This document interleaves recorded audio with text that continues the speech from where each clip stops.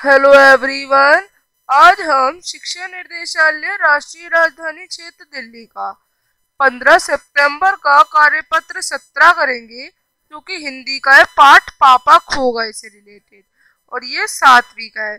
तो पापा खो गए नामक एक नाटक है, से आज हम एक और संवाद को पढ़ेंगे। पेड़, लेकिन चिट्ठी जिसे लिखी गई हो, लाल ताऊ, उसे ही पढ़नी चाहिए। वह प्राइवेट होती है प्राइवेट लेटर बॉक्स मैं कहा किसी की चिट्ठी पास रख लेता हूँ जिसकी होती है उसे मिल ही जाती है। किसी की गुप्त बातें मैं कब बाहर निकालता हूँ? तो वह मुझे तक ही रहती है इसलिए तो मुझे अपना बहुत महत्व लगता है आदमी। मैं उठ, बच्चे उठाने वाला हूँ। दूसरा कोई काम करने की मेरी इच्छा ही नहीं होती। अभी थोड़ी देर पहले एक घर से ये लड़की उठाई है मैंने। गहरी नींद में सो रही थी। अब तक उठी नहीं है। उठेगी भी नहीं। मैंने इसे थोड़ी बेहोशी की दवा भी दी है। अब मुझे लग रही है भूख। दिन भर कुछ खाने का वक्त ही नहीं मिलता। इतना काम हो जाता है, वो आदमी कहता है। पेट में जैसे चूहे दौड़ रहे हों तो ऐसा किया जाए। इसे यहीं लिटाकर अपने जरा कुछ खाने की तलाश करी जाए। देखा, कुछ मिल जाए तो।